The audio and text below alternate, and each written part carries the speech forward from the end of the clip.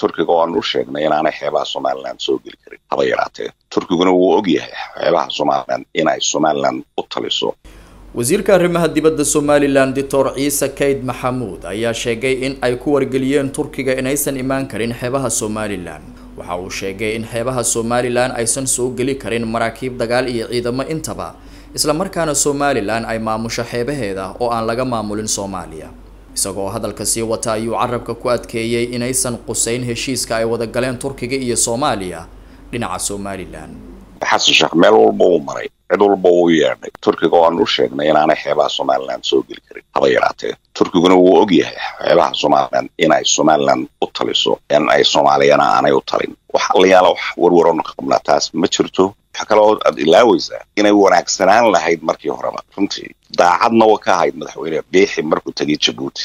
In halkan mar haddii aan laga bedeli karin qadiyadda somalilan aan waxba laga bedeli karin. In arrintan lagu dhameeyo si soomaalinimo ah heshiiskani wuxuu socdaa sidii loogu talagalay waxaan filaynaa inuu dhowaan uu hirgalo labada dowladeed somaliland iyo etoobiya oo runtii xidhiir qoto dheer leh. Waxa ay tahay heshiis labada dal iyo labada ummadoodba wadan ah marka uu hirgelayaa waanu dhammaanayaa.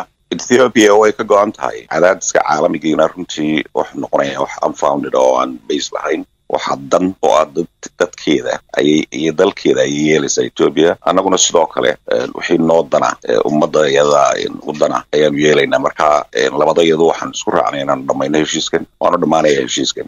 Horta waan akriyay statementka ka soo baxay dalalka waxa isku yimid. Runtii waxay statement at least waa ugu badnaan laba line baa laga hadlayay soomaaliya qadiyadeeda kamana gedisana kuwii hore soomaaliya ay dalalka amba dowladaha kale ay ula tagtay. Wax runtii naga huseeya ma jiraan waayo waxaanu ka fikiraynaa futureka iyo danta lix malyuun oo somalilander ah. Marka soomaaliya waxaa u bannaan inay arrimaha qadyadeeda gudaha ay ka fikirto.